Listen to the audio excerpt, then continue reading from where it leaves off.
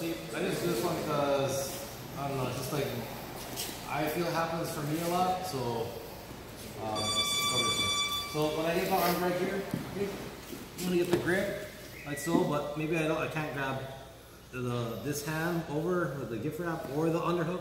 So I just have like the back, okay, the arm kick grab. So I don't really get a, a better grip here.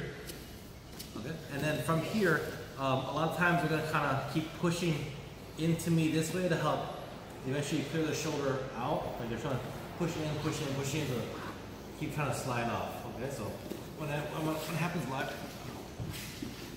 so like I'll get arm drag here, and they do nothing here.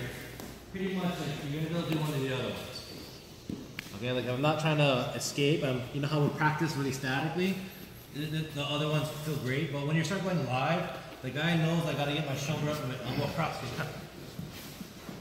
They kind of keep pulling their way to help square off. They're not gonna stay, except the arm drag. They're gonna keep pulling the arm back to kind of square off and get in a bear hug and then restart their whole passing. Okay, so when I feel them like pushing into me, this move works great. Okay, so once I get the, the arm right here, I'm gonna reach over and grab. I try to grab the lat, or I just grab whatever I can. Sometimes the belt, whatever. Any grip on the side here that helps hug is gonna work. Okay? So when I feel him pushing into me here, I'm gonna slide back a little bit as well, like little small shrimps. Okay, and then my up free leg on the back side here is gonna slide in. I'm gonna put like a, a butterfly hook in. Okay, so I'm gonna slide, I'm gonna do a shrimp out here, and then I'm gonna put my butterfly hook in. Okay, and then from here, when they keep pulling into me, and pushing into me, I'm gonna do like a reverse butterfly sweep. A little bit on my leg here, and then, and push them over. Get to that point here, I can the Okay, so. The trick here is loading them onto your butterfly legs.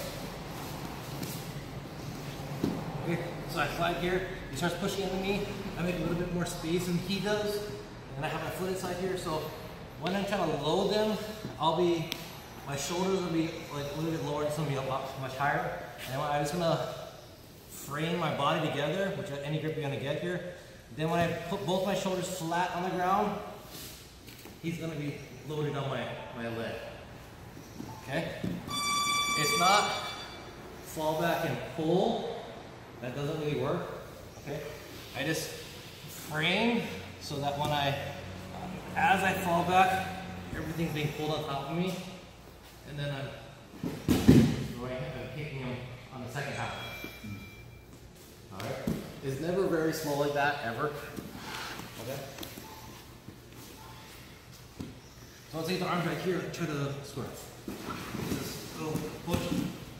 And then I go. Okay, it's a lot of the guy's pushing into you because he's trying to square off, square off, square off. And then as I get my hook the next time I push into, into you, I load and throw. They reverse butterfly. Alright, everyone, see it one time? Slow motion. I get the arm right here. I feel them like coming into it. Square off, square off. I put my hook in. Okay. Then I fall back. This is loaded. So the hand grip, I'm pushing that hand across. If I don't have a hand grip, I'm palming the elbows to help push. Okay, and then the second part of the kick. Want to this. Uh, up here. If a jiu-jitsu guy, they tend to stay flat for you. If they wrestle at all, they'll spin over. And I'll do the top throw.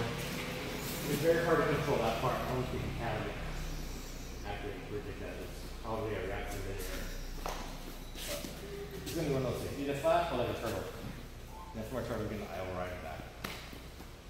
Everybody got it? Well, it's a little bit more complicated. You gotta get the load and then follow through. The load is probably the hardest part. Okay, let's try it out. One, two, three.